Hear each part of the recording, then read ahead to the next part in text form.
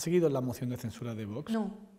La mencionaba en varias ocasiones desde la oposición como una herramienta, de, como un argumento para acusar al gobierno prácticamente de estar en un estado fallido. No lo, no lo he seguido. Eh, lo que sí es cierto es que a lo largo de los años los, eh, las personas que estaban al frente de la Fiscalía General del Estado hemos sido campo de batalla política hemos sido armas arrojadizas. Eh, esta persona mía pues es un arma, es campo de batalla donde se pueden desarrollar eh, las mayores barbaridades eh, y bueno, me dice, asumimos esto, esto nos va en el puesto, pues no va en el puesto, porque hay algo que es la institución que representamos. Detrás de, mí y, y junto a mí hay compañeros y compañeras que trabajan día a día, dejándose la piel, la vida, trabajando increíblemente bien y yo misma intento hacerlo lo mejor posible.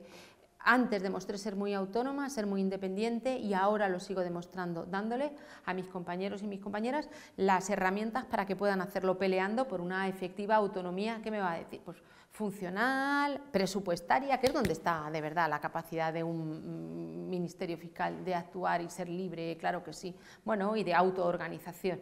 Entonces, eh, los descalificativos, desde luego, cutres y chabacanos no me interesan, es que ni me hago eco de ellos. Lo, digo con, esta grandeza, aquellos que puedan tener un componente de género eh, me hace ser mucho más fuerte en mis convicciones, porque no admito ni un solo, ni, ni una sola imputación que tenga su base en mi condición de mujer. Me siento muy orgullosa de ser mujer, como soy, la mujer que soy, una mujer luchadora como tantas otras, una persona que lucha y que trabaja. Así que lo cutre y lo chabacano, desde luego, no van a hacerme temblar en mis decisiones.